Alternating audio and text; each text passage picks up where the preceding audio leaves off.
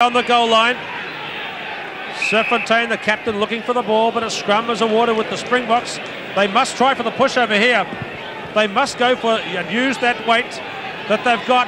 Advantage per man, setting their grips, getting down low. They must try for a pushover. Now, can the Maoris hold them?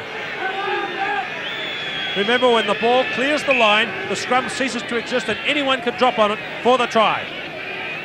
Right in the last minute. Maoris have collapsed it, so that prevents the pushover. Away to Beck. Drop goal attempt. He's missed it.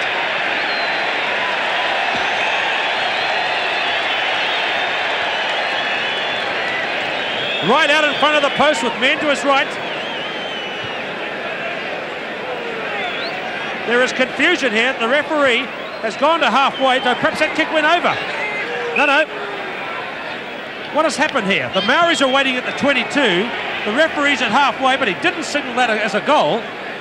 It had to be. It went over. Brian Duffy has said it went over and it's a restart from halfway. Yes, he said that kick went over. But I don't think he signaled it with his hand, but he's anyway, he said it's gone over. There is confusion on the field in the last minute of the game. That's the score we think now, 12 all. Bill Bush has come forward to ask the question. The kick must have gone over because they're restarting with a place kick at halfway.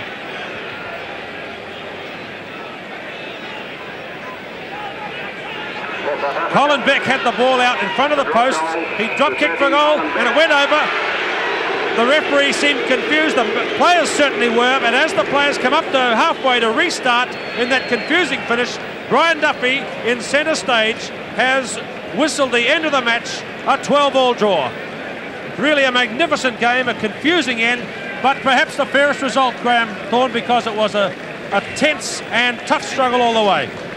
Well, I don't know if the Springboks deserve to get out with a draw there. I think the Maoris deserve to win. They played the game. They took it right to the Springboks. They built up a lead. They saw it snatched back from them.